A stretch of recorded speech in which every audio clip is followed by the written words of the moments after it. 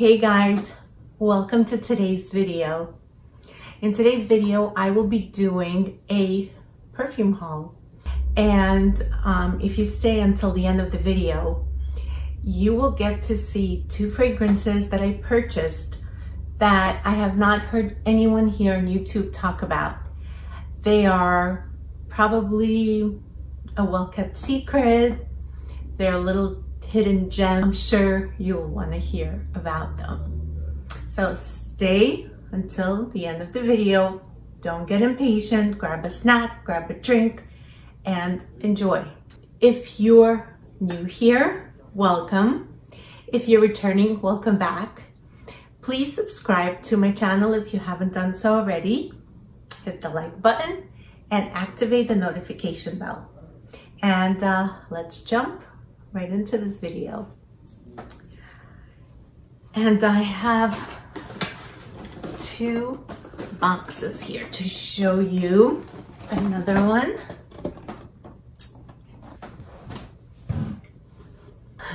this first fragrance is Scandal à Paris by Jean-Paul Gaultier.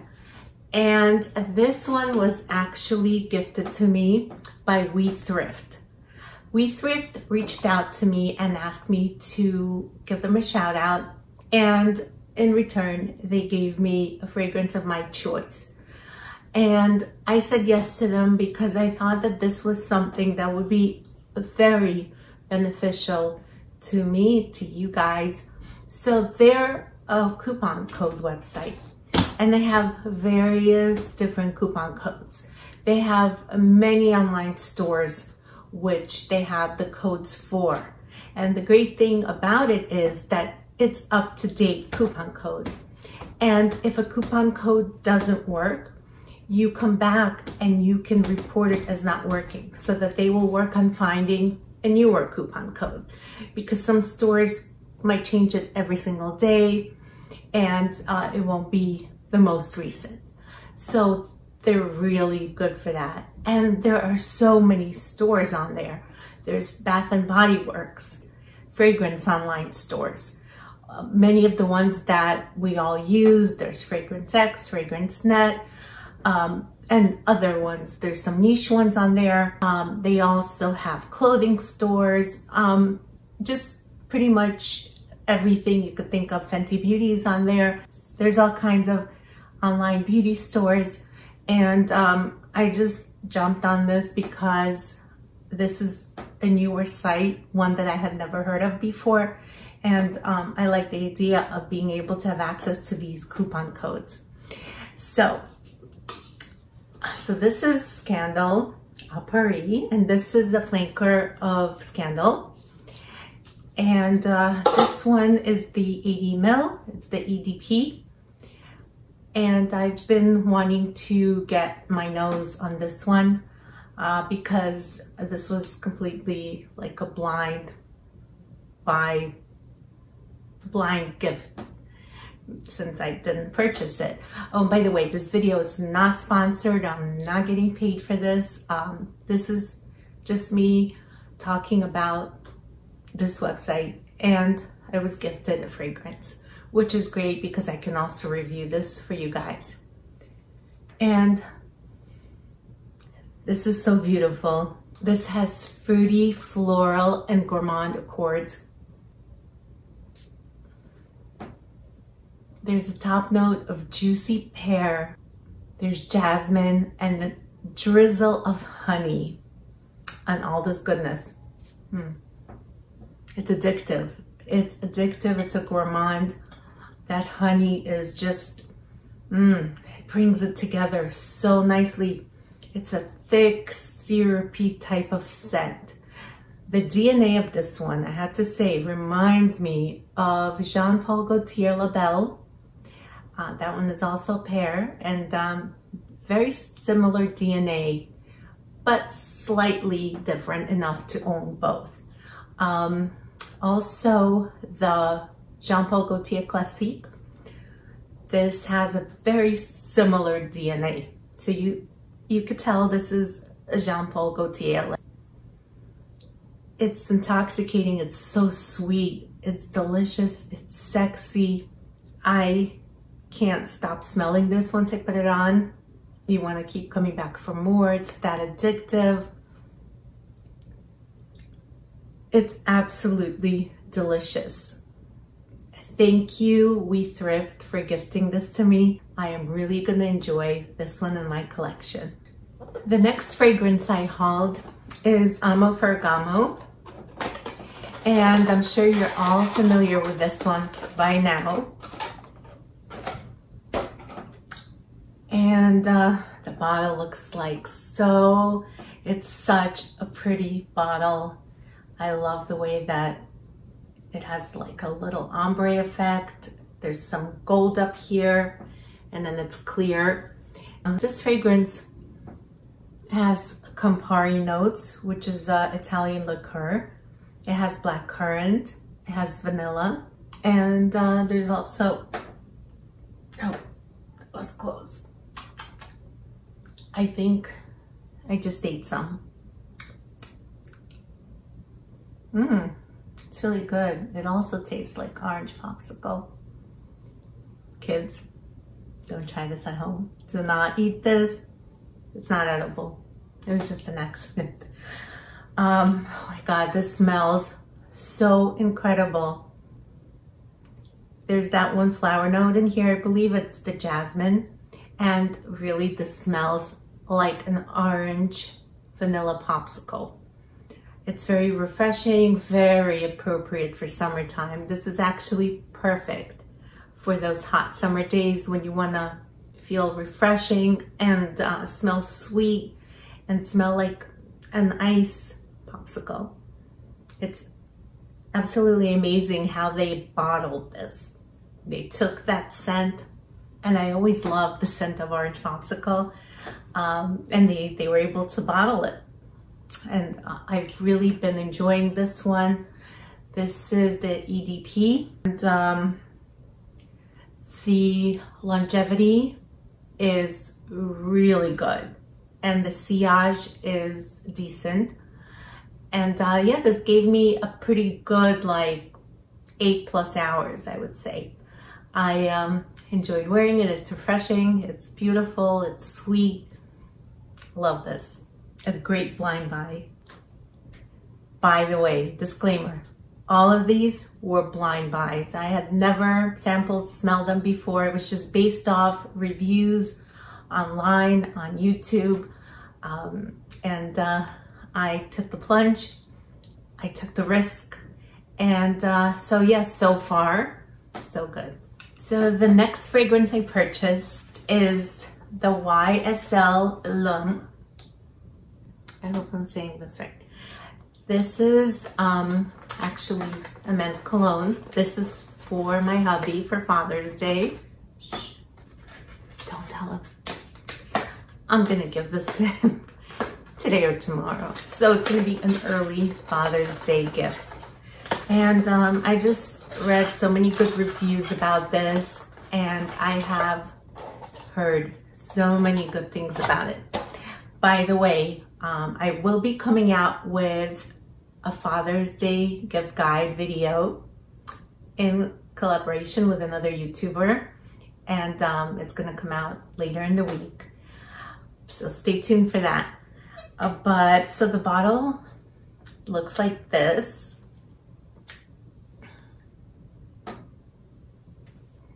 This is fresh and spicy. It has lemon, bergamot, ginger, this is also very sweet, which my husband likes. He likes the fragrance that he wears to be more on the sweet side, but the mix of spicy and sweet just makes it so much better. This one also has, I'll read it from the notes, um, violet leaf, basil, tonka bean, Tahitian vetiver, and cedar. So it has all these warm, sweet notes and um, it smells like a very daytime, all around appropriate fragrance. This smells delicious. Um, this is great for transitional, for any season. This is great for daytime, nighttime, office, a date. Um, and um, I, this one is almost unisex. It could be unisex. I love the scent and I will be sealing this a lot. Or, you know, just using it, maybe not stealing. I don't want to use that word, but using this a lot. Again, don't tell him. So, by the way, this is the EDT. This next one that I purchased is Gucci Rush, and this is the EDT. It's the 30 mil. And uh, this one is just something that was talked about so much by Mila Le Blanc, a YouTuber here who raves about this fragrance. This is one of her all-time favorite. She has backups of this. Um, it's very special to her. I wanted to see for myself what all the hype was about because I've heard others talk about it as well. And I was just very curious because I mean, just the packaging is not my favorite. It's cheap and plastic and looks like a toy. So the fragrance is so interesting. It has peach, freesia, gardenia, rose, coriander, vetiver, patchouli, and vanilla. There's also this sharp, tangy scent. It smells like there's rhubarb in here, but it's not listed in the notes. So I'm not sure. And I don't pick up any one note individually. Like I don't really smell the jasmine. Um, I don't smell the vetiver. I really can't pick up one single note. This to me is just like a combination of all the notes where you can't tell where one ends and the other begins.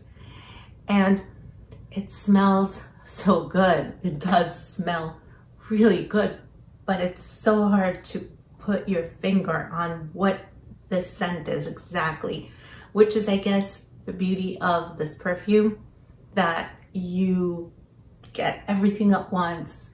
And it's interesting because it does smell plasticky and synthetic, but not in a bad way. When you hear these things, you think of something negative like plasticky, synthetic, whoa, no. But this is just really, really nice. It also reminds me of Play-Doh. Like when I was a kid, I would play with it and I would like to smell it. Was that just me? Did anybody else enjoy smelling the Play-Doh when they were kids?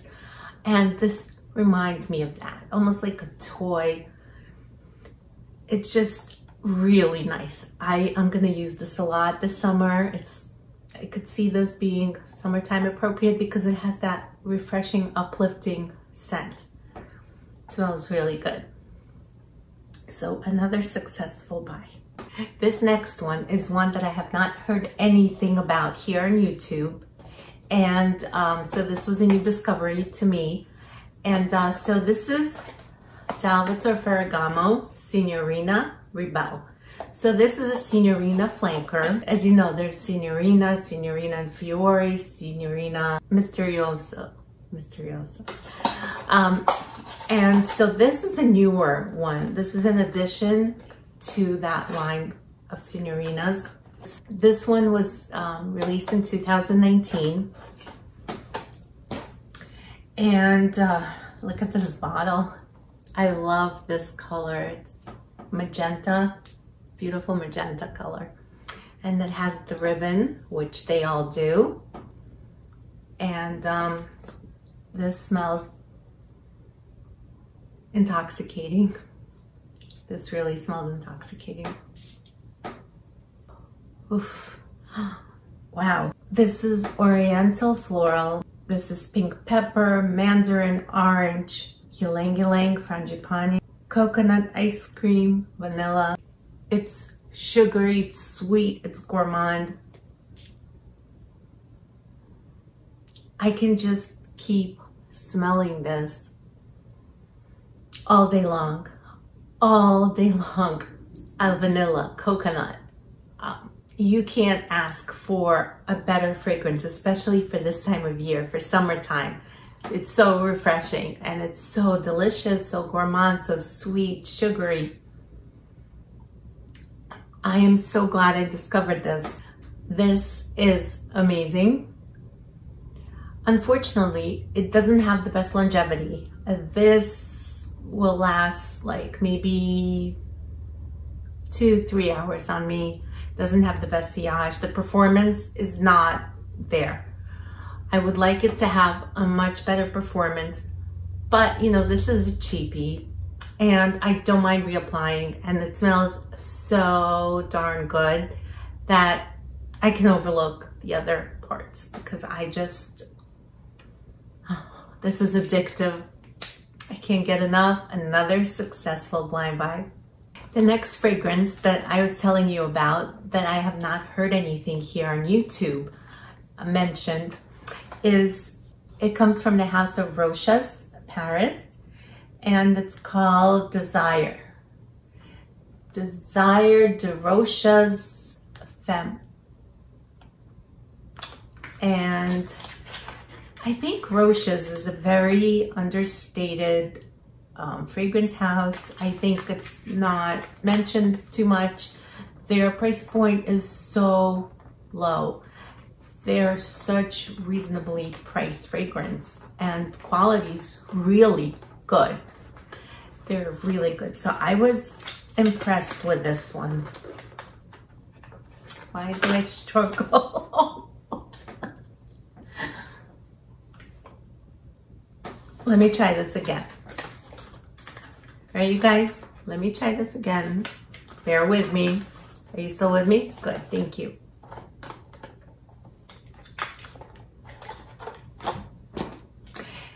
And so the bottle looks like so.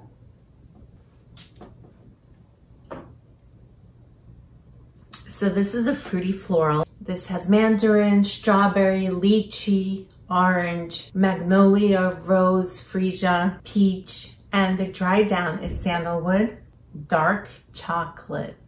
Yes, dark chocolate. White muskmellow. So I wonder if the muskmellow is like a marshmallow type of scent. It probably is because it has that very gourmand marshmallowy aspect to it. So this is citrus, this is spicy, and it's gourmand sweet at the dry down. This is a chocolate lover's dream come true. This smells incredible. It's a dessert in a bottle. It smells like an Oreo cookie almost, kind of like the dark chocolate Oreo cookie. It has a little bit of bitterness as you know the real dark chocolate should. Um, it's not like a milk chocolate sweet, but it's still sweet with just a hint of bitterness and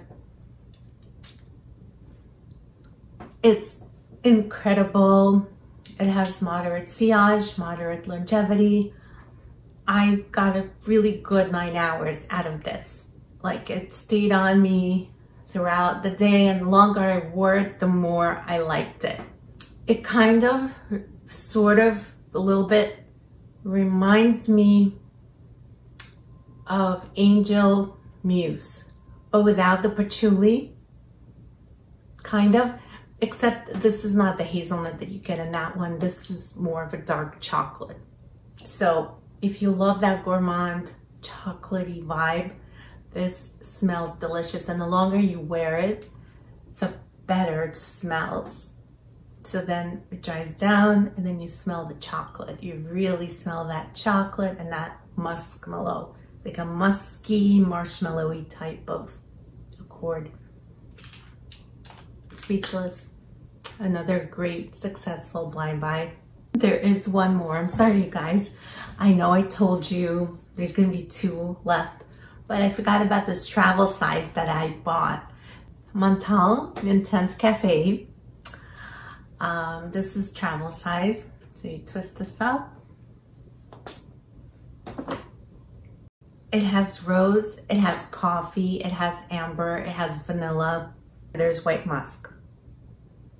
Now, this doesn't give me that strong coffee note, if I'm being honest. Um, it's barely, barely there. Like maybe on the dry down, I start to smell it a little bit more. The star of this one is definitely rose.